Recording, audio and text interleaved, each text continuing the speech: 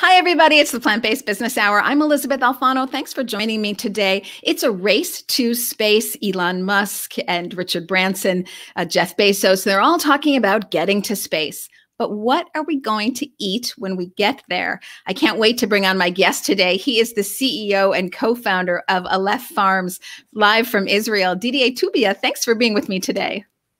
Good afternoon. Thanks for having me. So happy that you are here. Well, let's just dive into it. There's so much to discuss today. And you, of course, are a wealth of knowledge. For those who might not know, what exactly is clean or cultivated meat? Mm-hmm. Cultivated meat is a new way to produce meat. Um, and I'll explain I'll explain how that works. But first, uh, I want to, to tell you what it is not. It's not alternative protein. I'll explain what I mean. Um, actually, what we do um, at Aleph Farms, and uh, the you know a couple of dozens uh, other companies developing similar technologies is uh, um, growing the meat directly from its building blocks, which are the cells, which are composed the meat we, we know we can purchase today in a grocery store or anywhere. And um, the concept relies on um, harvesting just a few cells from an, a living animal without any harm and uh, transferring those cells into a suitable medium um, outside of the animal's body, which uh, replicates the same conditions as on the inside, so that the cells continue to to divide to uh, to form muscle tissues, same as they would inside the animal, but on the outside under controlled conditions. Uh, that, that's why it's not an alternative protein. It's actually real meat. Um, it's an alternative production method for meat. And actually, um, the way we look at it is also um, to make sure that we just we, we don't just make proteins. Actually, meat in our views is uh, is more of an experience for many people. Mm. It has a lot of uh, emotional content and um, a lot of uh, uh let's say connections with the uh, you know the society we live in, and is rooted in, in the food and, and the people's culture. So at Farms, we make sure that we reproduce the real experience of meat and culinary, uh, of course, how it cooks, sensory. Um, meaning uh, texture, taste, flavor of the end product, nutritional quality of the meat we know. Uh, it's not just uh, protein to fuel the body. So I, I love what you're saying. Basically, you are reproducing the insides of the cow, if you will, without having to have all the externalities that um, make that cow function. The externalities being land, water, time, but also the externalities of just the cow itself having to endure um, the, the growing process of, you know, being in a factory farm. So, is this why you say on your website that at Aleph Farms you make steak in the same way that nature makes steak? Why don't you walk me through that? Mm-hmm. Aleph Farms' philosophy is to stick to nature as much as possible and uh, same as many other breakthroughs in human history, like you know electricity, um, or uh, even the wheel, um, have, have been invented, you know, by learning from nature. Uh, uh, inventing the wheel has, you know, is an idea which arose from looking at uh, stones just rolling uh, down a hill, and people have found a way to incorporate this spontaneous phenomenon under control you know environment. And we're doing the same. We learn in depth how a steak which is a muscle tissue in a, in a cow forms in nature which cells compose it. And we learn the extracellular matrix the way it develops this very special texture of the meat we know. And we isolate cells which have this capability of making muscle tissue in nature uh, which are natural cells and we incorporate them into a cultivator, um, which is also called the bioreactor sometimes, and we bring them the same environment and the same uh, nutrients. And we replace the extracellular matrix, which is um, a support for the cells to form um, this uh, structured tissue with uh, what we call a scaffold. And we, we, we really uh, focus on um, mimicking nature and uh, uh, keeping the same basic components uh, of nature as much as possible. Mm-hmm. I love this nature being the ultimate engineer. And of course, why wouldn't we mimic nature? It's always proven out to be so successful for us when we do that. So it sounds great. And we all want it so much. And we would all make more money if that's your interest. We would save natural resources if that's your interest. You wouldn't have the animal aggravation and harm if that's your interest, and you'd get everything you want. So why don't we have it yet? When I look you uh, mm-hmm. in your introduction, you talked about there are also some other companies around the world that are working on this, and I think Mosa Meat in Holland was able to produce a burger in around 2012 so here we are, 2021. Please tell me what is the major hurdle that you have and when will we realistically see it at scale available to all in the marketplace? Mm -hmm. Yes, of course. First, my main interest is to uh, make sure that we leave a better legacy to the future generations. And, and you know, I'm myself 47 years old and I have uh, three children. My elder mm-hmm. children is uh, 19 years old. Um, and, and producing meat uh, with this new process um, allows, allows not only for uh, reducing the environmental impact of, of the livestock, as you mentioned, in terms of land, water, greenhouse gas emissions, but also um, helps reducing the use of antibiotics. To the 700,000 people die from um, uh, resistance to antibiotics, and this number should increase to 2 million by 2040. Mm-hmm. And also avoid the animal welfare issues associated with industrial farming and slaughter. Um, the, the reason why cultivated meat is not yet uh, widely available is because it, it has taken time to really um, um, develop the right uh, adaptations of the, the technologies which have been originally developed for regenerative medicine, meaning for uh, fixing diseased organs in human medicine, and to um, make them fit into the requirements uh, for uh, producing food. Obviously, the, the, the products are very different, even though the underlying science is, is very similar. Uh, we have to make sure that the, um, the production process would meet the uh, the scale required, would meet the the cost structure which is required for a food product we have to make sure that we can remove all the animal inputs to the process, including mm-hmm. removing the uh, fetal bovine serum, which is used in, uh, in biomedical applications for tissue engineering. And we have to make sure that we develop um, a product with the right um, taste and, and, flavor, which would meet the uh, consumer's expectations. So all that is taking a lot of time. It's, it's really deep tech type of a, um, a project uh, on the other hand, we've seen in the last two, three years an acceleration of this uh, space, uh, technologies getting out of the lab and becoming much more applicable to mass production. And we've seen consumer acceptance also, at least the, the, expected consumer acceptance, because there is no product in the market yet, going up very quickly. Um, large food and meat players uh, starting to jump in and uh, um, being more involved in promoting those new production processes so it's a it's coming very quickly, um, and this process is has been accelerating over the course of the last couple of years. Yeah. Okay. So much to unpack there. I'm thrilled to hear that you and other companies, I believe, are working on getting rid of the uh, bovine serum. So that was always something mm-hmm. that I wondered if that was going to be an element that stayed or not. So I've been reading in the last six months or a year or so, at least that's come to my attention, that that's something that's working its way out of the system. So that's wonderful to know.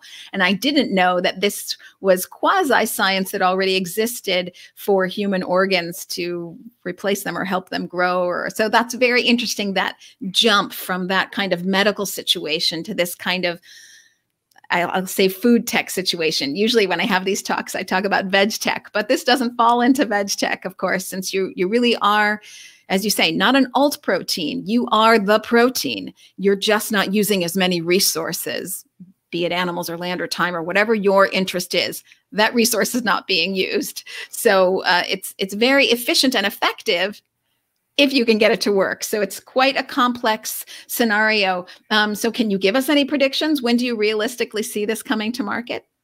Mm-hmm. Um, yes, of course. We've seen the first um, regulatory approval for um, a cultivated meat product in, in Singapore last month, um, uh, obtained by Eat Just, which is a, great achievement for, for the company and I think also a milestone for the industry.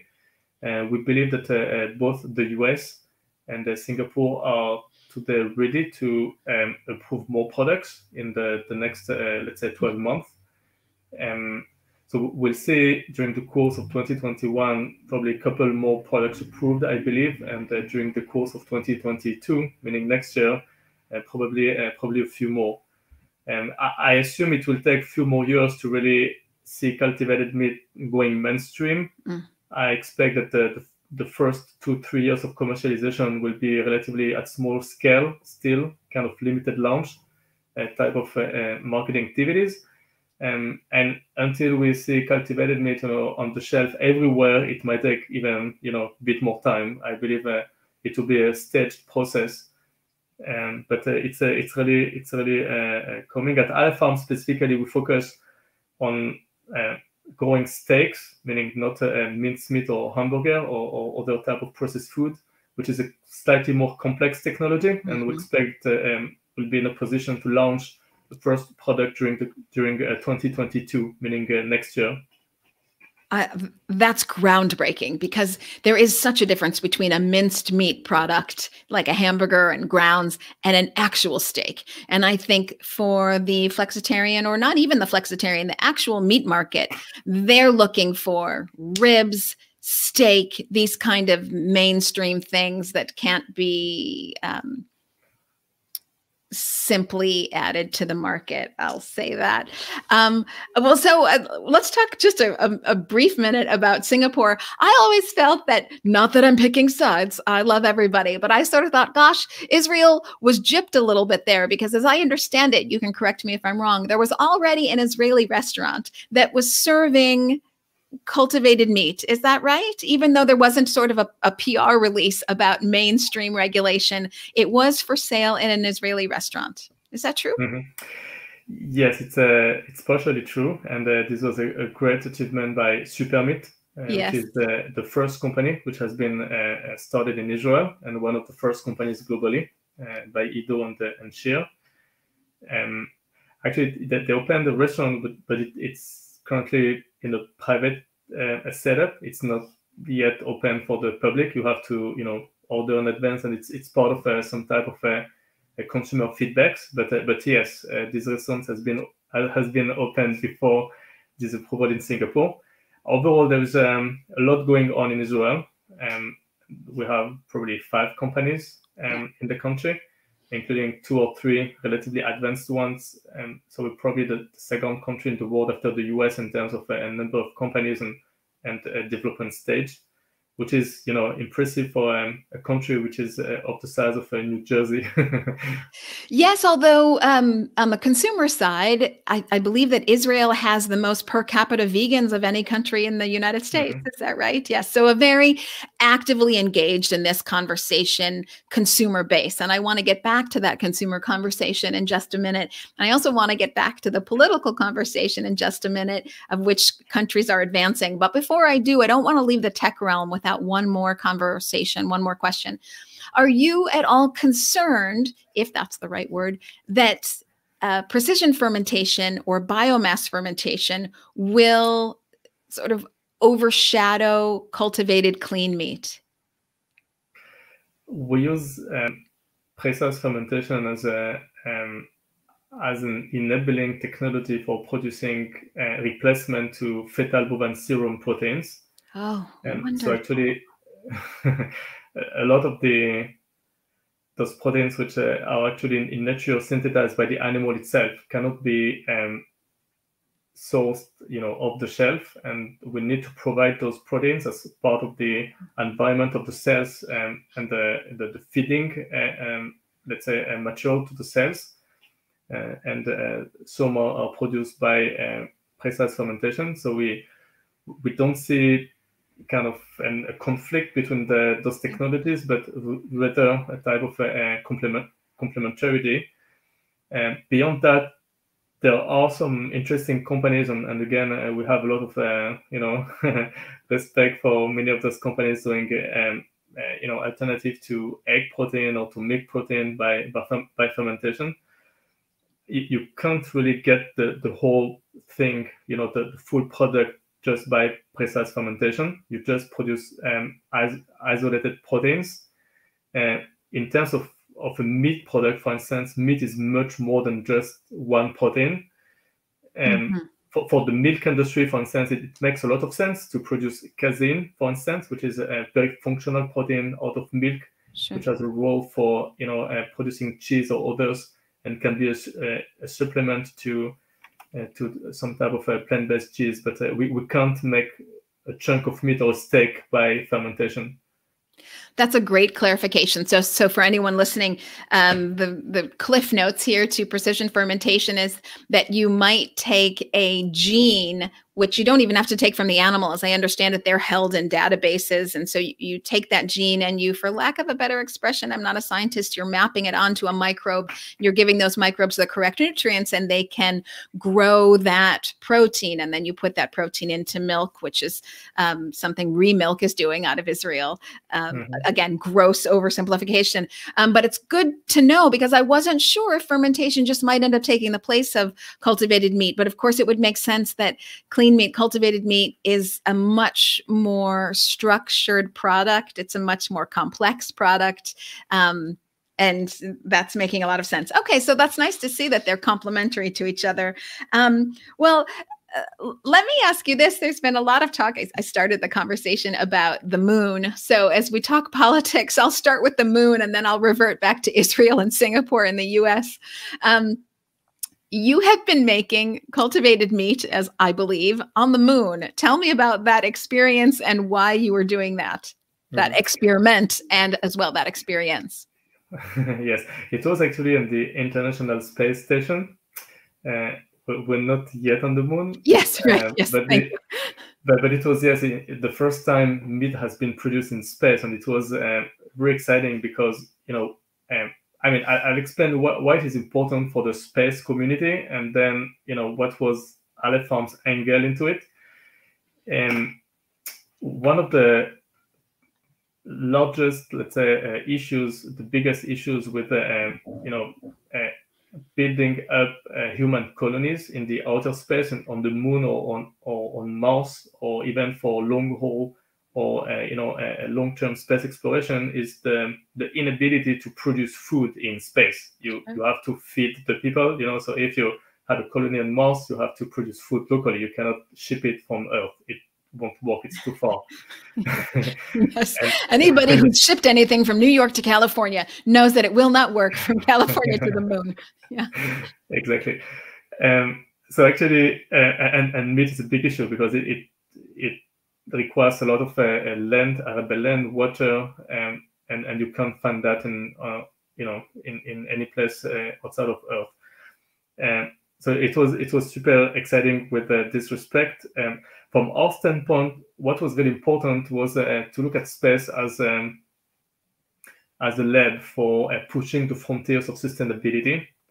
And we, we have performed this experiment with uh, our partners, uh, 3D bioprinting solutions and uh, we've used actually um, very advanced 3D uh, bioprinting uh, um, technologies to, to get there and, and develop unique protocols. And we believe that when we're able to produce meat in in space, um, we really we really implement the most advanced uh, uh, circular uh, production processes and reduce to the minimum the, the reliance on local natural resources it's kind of really pushing the frontiers of uh, near zero resource production.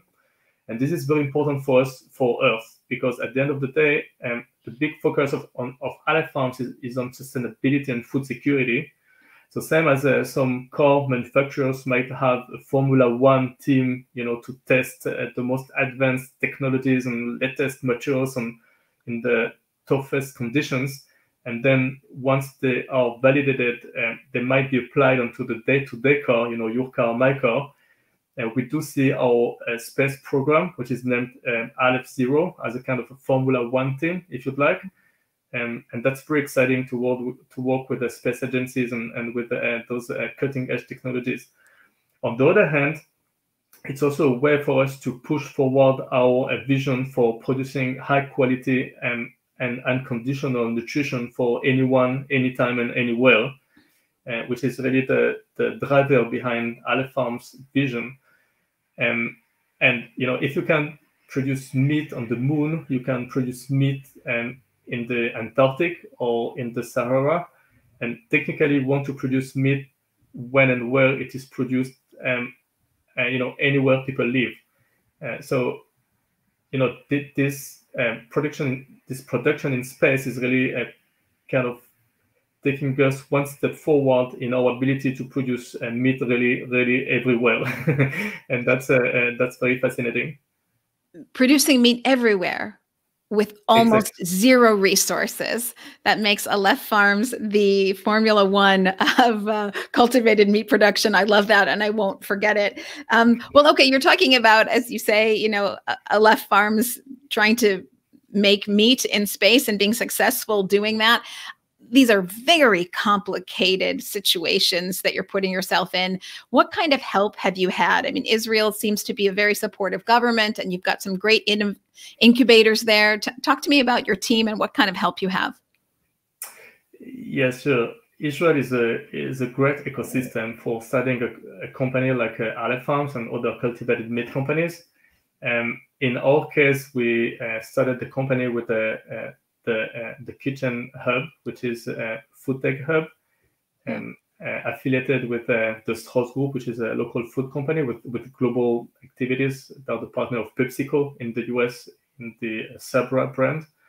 Mm. And, and we actually started as a tech transfer from um, the Technion, the Israel Institute of Technology, working very closely with Professor Levenberg, who has over uh, 20 years of experience in tissue engineering for medical applications um, at MIT first. She's um, she has worked for uh, six years with uh, Professor Bob Langer, who is one of the most renowned uh, scientists uh, ever and the father of tissue engineering. And then at the Technion, and and we have uh, really this um, this ecosystem, this local ecosystem, which is super supportive. You know, that this collaboration and this complementarity between the industry, the academy, the, the government is, is yeah. very supportive as well and we've um, taken we've we've had the uh, you know the uh, the opportunity to benefit from uh, subsidies and grants from the from the mm. government when we started the company. I believe Israel has been the first uh, government to uh, to provide uh, grants for any cultivated meat company in the world. I mm. think you know it was in 2017, um, and that that was also part of the you know the um, the excitement we had uh, to really uh, um, take part in in better structuring this ecosystem and promoting um, a, a, plan, a national plan for uh, um, promoting alternative proteins in Israel as a means for improving the um, resilience of our local food system and food security. In in Israel, 85% of the beef is imported, for instance. Same as in many other countries in the Middle East and in uh, in uh, in Asia mm-hmm. uh, but also improving the, the, environmental impact of the food production and uh, um, uh, seeing uh, alternative protein as a as a growth engine. And the visit of the Prime Minister of Israel at Aleph was actually part of a larger scope effort for promoting this plan, which have, have been uh, put together by by GFI. We've uh, supported them and taken a part in a in in building it, but they really took the lead um, and it's uh, involving six different um, ministries. So it's a really, you know, nationwide, very large scale uh, uh, plan we're, we're pushing there. And it, it, can be done only in Israel. I think uh, uh ah. the, the, environment is uh, very supportive for that. Again, so much to unpack there. Um, just I want to summarize a little bit because you're saying a lot of great things, and I want to make sure people are hearing and understanding. So there's this, been this collaboration in Israel of um, research grants and the bringing together not just of the tech minds, but of the tissue building um, professors around the world who might have this kind of knowledge and intel, and bringing these educational, institutional resources together with governmental resources and giving them an incubator like the Kitchen Hub so that they can try out this science, this kind of collaborative effort that then gets financial support it's an incredible example to the world. And as you mentioned, Israel uh, imports, I think you said 85% of its meat. Um, countries like Singapore, obviously smaller, but Singapore um, now imports 90% of all its food, not just its meat, and as you say, the Middle East, et cetera. So many countries around the world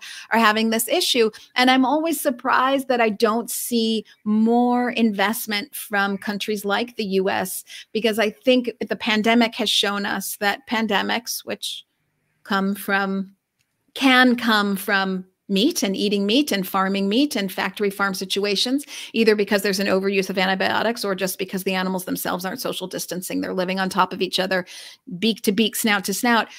You're seeing how pandemics disrupt food supplies and job markets. And so, as we seek to have stable economies, you would think that all governments would be very interested in stabilizing their food source. And this is a great way to do that. And I haven't really seen that much coming from the US, really. There was one grant recently that was $3.5 million, but very small compared to Canada and Israel and Singapore and other countries. So um, it's very exciting to see Netanyahu make that public appearance to Aleph Farms and be so supportive.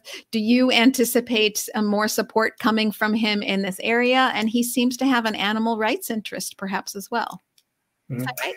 Yes, definitely. Yes, he's uh, uh, very much involved with uh, uh animal rights and uh, very sensitive to animal rights. Oh. That's also probably one of the the driver behind uh, you know his support and and also you know this environment you mentioned before in Israel we have one of the highest rate of vegans in the world, and I believe that this environment is also part of this supportive ecosystem which we, we can find here locally. Yeah.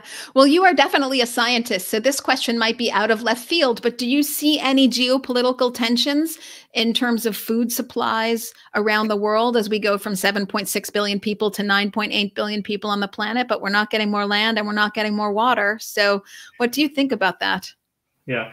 I think that the the, the question how to feed uh, nine billion people in 2040 is not the right question. Ah, I think okay. I think it, it's just missing the point. The the real point is how to feed uh, 7.8 billion people today. Ah. We're already using uh, 1.7 uh, planets to support human activity on Earth and, and the resources of 1.7 planet Earth, and and we've lost 30% of our arable land during the last 50 years. Uh, agriculture is using 70% of our freshwater withdrawals, which is uh, which is huge, and we do see already tensions um, uh, in uh, um, in food uh, uh, political tensions mm-hmm. related to food supply during COVID-19, for instance.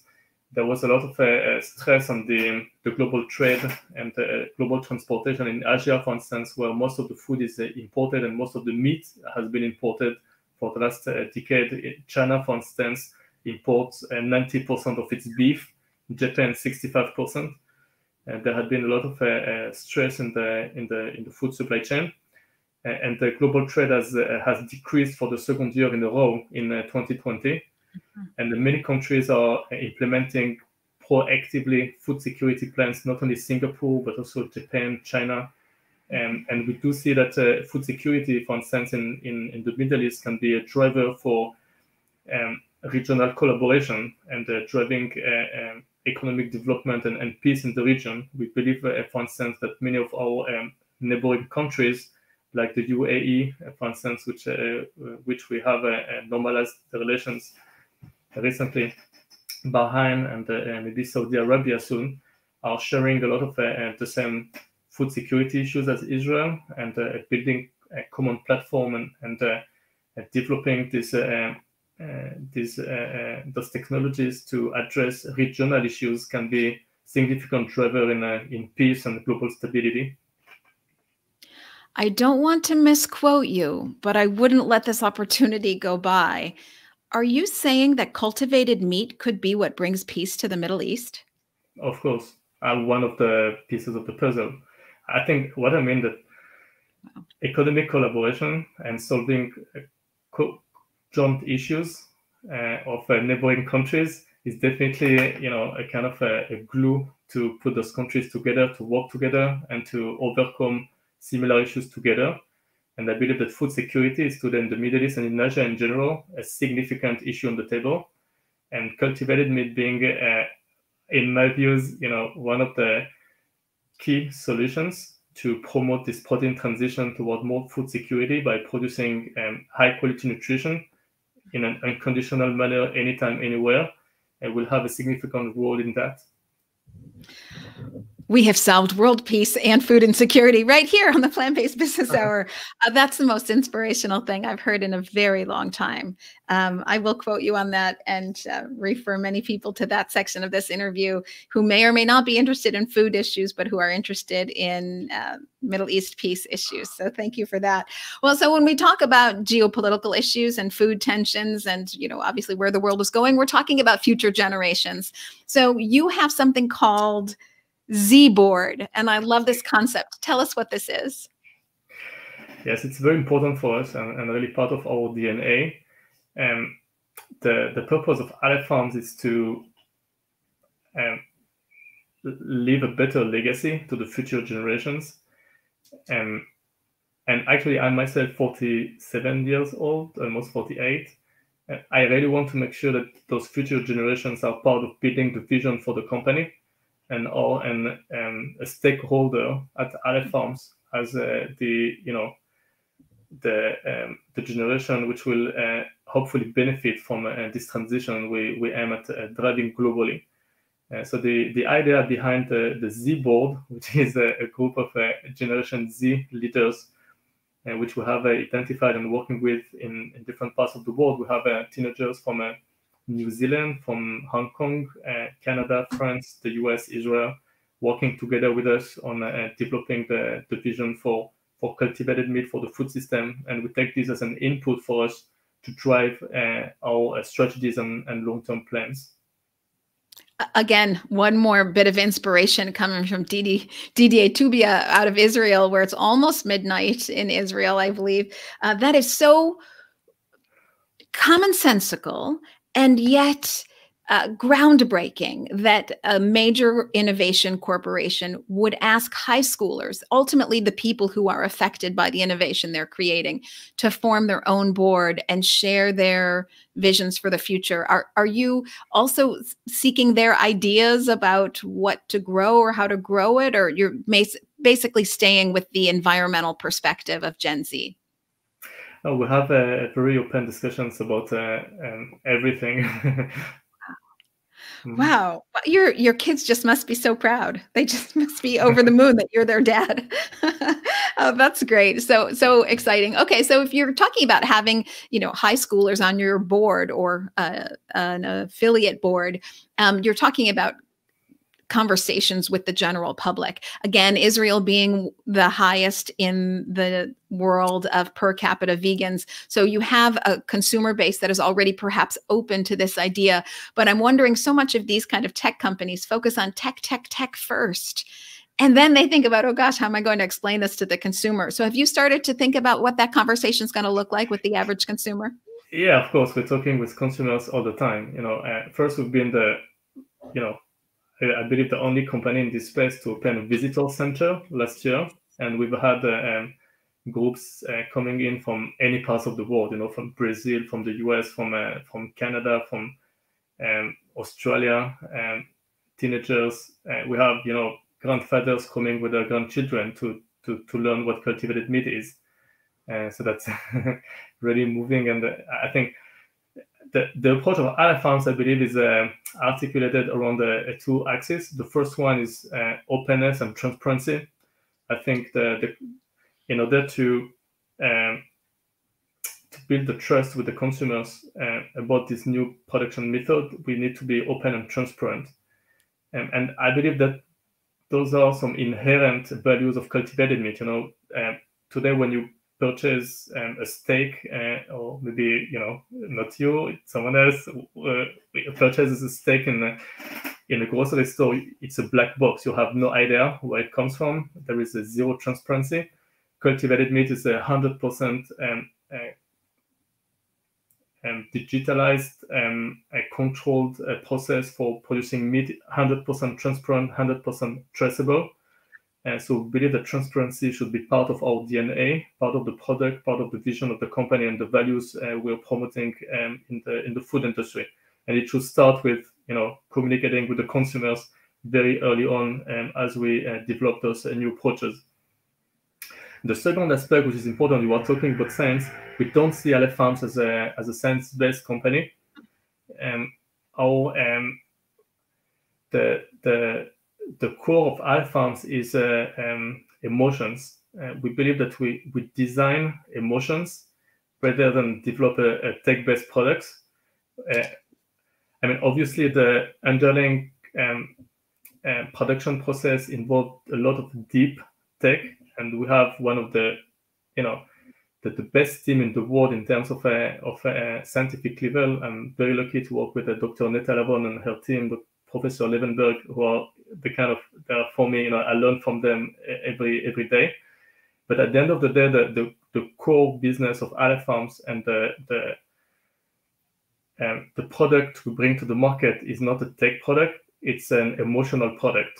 And when we um, when we grow meat, uh, we we have the ability to really design to um, to shape uh, the emotions this product will um, uh, uh evoke for for the consumer, and and we really do see ourselves as uh, as uh, designers of emotions and and artists first. You know, if you look at the historically, you know, Leonardo da Vinci and all those huge scientists were were all artists uh, to start with, and I think that you know when um, the industrial revolution started, and there was a need for a mass of engineers to kind of support you know uh, you know factories and and industrialization of processes that there had been a kind of disconnection between technology and art. But I think that even today, the top 1% of the best scientists and technologists in the world are primarily artists. Mm. And I, I, work with artists at Farms, uh, which are uh, also scientists. Mm. I love that you say this. Going back historically, at least I'm using Leonardo da Vinci as an example. So, engineers, as artists, as nature lovers. I mean, Da Vinci took everything, all of his art, all of his drawings, um, from waterfalls and how leaves turn and that's how we got a sense of motion. And so we're back to this triangle of um, the mathematics of nature if you will. I mean it's so poetic. I can see that link to artistry at aleph farms. That's really exciting. And i love that you're talking about being designers of emotions because ultimately that's how you will sell to the customer. And i want to see this sold everywhere and very successful and that this transition um, to take place. So i love that you're already already thinking about the emotional connection that's in the food and how that will be part of the consumers' lives. And I also love that you have um, a, a physical location that's open to the public. And if it were not for COVID, I would be there myself. I think this is a, a moment in history you know a hundred years from now they'll look back at this point in time and they'll say these were the key players and this is what was happening. So when you talk about a grandfather with their grandchildren i think that's it. This is one generation going from the typewriter to the computer from the landline to the cell phone from animal agriculture to cultivated meat. And it's this passing of the torch from generation to generation. It's it's so very exciting. Okay, so you've talked a little bit about predictions. You said that it's not a prediction, I guess it's a fact. Aleph Farms will have a product to market by 2022, that product being steak. But I'm wondering if beyond what you will actually be doing, because you already know all about that, but your general predictions beyond Aleph Farms, where do you see the market of plant based food fermented proteins and cultivated meat. Where do you see those going? I used to ask this question in the next 10 years, then it was five years. Now I'm going to say in the next three to five years. Yes, I believe that in the, in the next uh, three, five, ten years, we'll, we'll see um, different categories of products, um, you know, developing in, in into the market. And definitely plant-based products are, you know, uh, here to stay and uh, are, are a category which uh, is uh, developing, and it's a it's a great uh, you know a great opportunity for for companies to to bring products to the market for for people who would prefer plants. And we believe cultivated meat will be a separate category of of products, um, which will build on a different value proposition. Um, we do see um, again precise fermentation more as a you know replacing functional proteins rather than uh, whole products. We won't see you know a, a you know a, a, whole milk you know product kind of 100% product by process fermentation, but rather specific proteins, whey or, or casein. And same with the with eggs. Um, I do believe that the, the meat industry will not disappear tomorrow morning, and I, am sorry to uh, maybe uh, disappoint some of the um, uh, uh audience uh, here, but I think that we do see um, a trend for reverting to more extensive, more respectful ways uh, to farm animals, and we see that in Europe. We start to see that in in the US as well. I believe that the um, animal-based um, livestock industry will shrink and will uh, refocus on, on more um, regenerative type of uh, practices. Um, so overall, we'll see you know different categories of products coexisting, um, each with a slightly different value proposition. Um, and we're working, uh, you know, very hard and, and uh, day after day to really refine the exact value of, of uh, cultivated meat and how this should be positioned within this uh, evolving environment. Mm-hmm. Yes, I, I agree with you. It's not going to be from one day to the next that we have cultivated meat only. I think it's going to be this shrinkage and then it's going to be this blending. So you're going to see, you know, plant-based proteins with maybe animal proteins. Paul Shapiro is working on this mm-hmm. now. Then you'll see um, even cultivated meat or fat into plant-based proteins to to you know I just think it's going to morph and morph and morph until the younger right. generation says, I can't believe that my grandparents farmed animals. Like, what was wrong with them? Yeah, that's a, that's a very good point because, you know, until, uh, I don't know, five ten years ago, there were uh, vegetarians and uh, omnivores, meaning so either you you ate just plants right. or you ate meat and, and the plant-based products were not really you know good enough to really uh, uh appeal for um, be appealing for uh, uh, for omnivores and today the plant-based products are getting better and are kind of taking more market share from meat into the meat eater category. On the other hand, there is a, a larger market uh, uh, for flexitarians, which you know are interested to reduce their meat consumptions but still do eat meat. And and there, is no clear borderline, you know, between vegetarians and meat eaters as we had 10 years ago. And there's a high level of fragmentation today. And there is there is, a, we believe, a, a significant significant room for what we call hybrid products, which would be some type of a mix or blend between different solutions. Definitely. Yes. Uh, cheers to that. Uh, or should I say L'chaim? my my one word that I know. L'chaim. Okay. Uh, but I have two. No, one more question for you and then like a super fast exit question. So again, this question I used to say 10 years, but now we can change this to 5 years or maybe 3 to 5 years. What do you wish you knew let's say 5 years ago that you know now? Uh, wow, that's a that's a great question. Uh, I, I, can't tell you what I what I learned uh, during the, the last ten years or twenty years, which I, uh, I hope I knew at the time. I think what's really important for for an entrepreneur to be successful, and in general for uh, uh, companies and startup to to thrive, is uh, is humility. I think you really have to be humility to be humble when you when you uh, bring new solutions to the market. That, that, that there might be a pitfall, you know, for entrepreneurs and and uh, uh, you know tech guys to invent something and and be sure that they, they have the solution and they, they will conquer the world and, and this the solution that will sell to, to, to the world. It doesn't work like that really. I think that the environment is very complex, especially when we we're talking about the, the food uh, ecosystem and the meat ecosystem. There are a lot of stakeholders.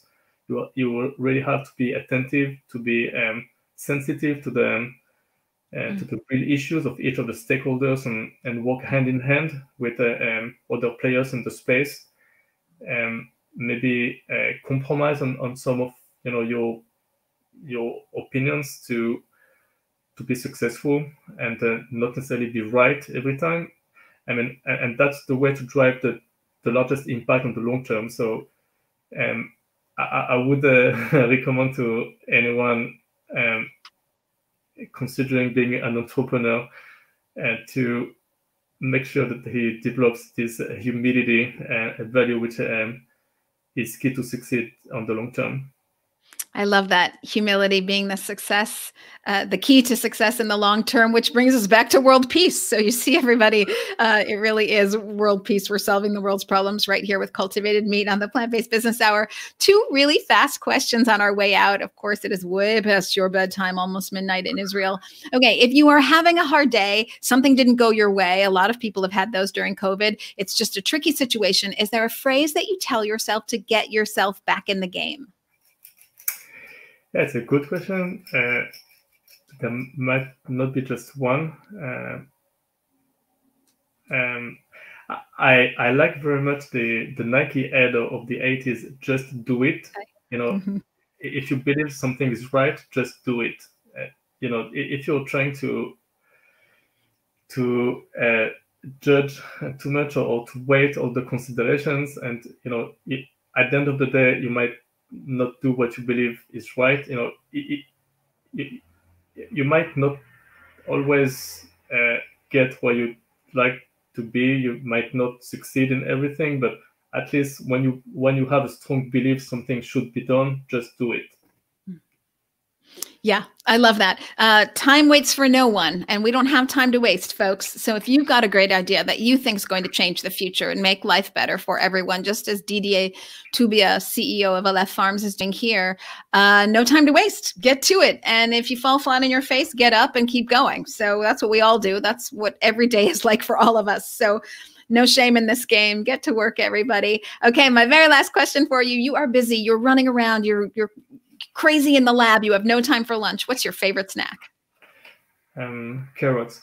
Carrots oh wow. Good for you. Carrots and hummus. Well you are well placed for where you are in the world. That's my favorite snack carrots and hummus together. Might not be yours but when i think of carrots i think of hummus. Um, and just as a side note you had mentioned earlier that the most popular hummus brand in the united states sabra is affiliated with one of your supporters i believe. Yes? Uh, the Strauss group which is um, actually the, the the owner or the partner of the, the Kitchen Hub, the incubator, the yes. incubator which uh, yes. which has uh, started the uh, Aleph Farms uh, with me. Yes, wonderful. Well, then I will eat more hummus. So thank you to Sabra. And of course, thank you, Didier Toubia, CEO and co-founder of Aleph Farms. I'm going to say goodbye to everyone on social media, but not to Didier. So Didier, you stick around.